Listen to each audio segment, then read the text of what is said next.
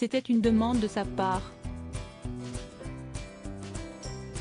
Mais son absence en aurait étonné plus d'un, tant Nelson Montfort est un incontournable de France Télévisions quand il s'agit des interviews d'athlètes et de nageurs. Le journaliste sportif pourra donc bien couvrir les Jeux Olympiques de Paris en 2024, malgré son âge. Car le service public a pour règle de mettre à la retraite ses salariés de plus de 70 ans et le journaliste polyglotte célèbre ses 70 ans ce 12 mars. Si est une jolie manière de boucler la boucle avec cette Jo à domicile, a confié Nelson Montfort au quotidien L'équipe, qui a aussi donné l'information ce vendredi 3 février.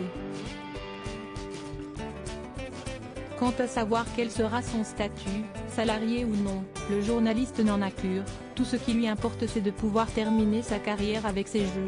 Si est de l'administratif. Savoir que je serai de l'aventure suffit à mon bonheur.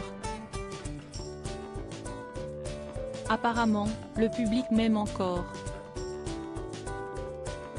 Les anciens de France Télévisions toujours présents si Nelson Montfort fera donc ses adieux à France Télévisions en apothéose avec les Jeux en France, un de ses collègues, encore plus âgé que lui, pourrait revenir à ses premières amours à cette même occasion, Michel Drucker. À 80 ans, celui qui ne veut toujours pas prendre sa retraite et fait les beaux jours de France 3 pourrait être intégré dans le dispositif du service public pour cette compétition qui fait rêver tous les athlètes. Au journal L'équipe, l'emblématique animateur a ainsi confié « Je veux être dans le coup pour les Jeux de Paris 2024. J'ai débuté avec la couverture de ceux de Tokyo en 1964, ce seront mes 60 ans de carrière.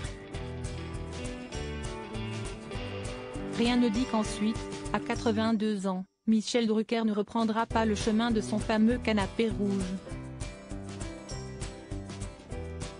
En plein débat sur le projet de loi sur la réforme des retraites, il en est au moins deux qui sont d'accord pour travailler quelques années de plus.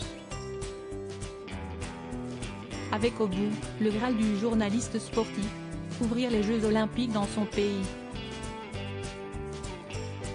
Article écrit en collaboration avec 6 médias Crédit Photo, Jack Tribeca.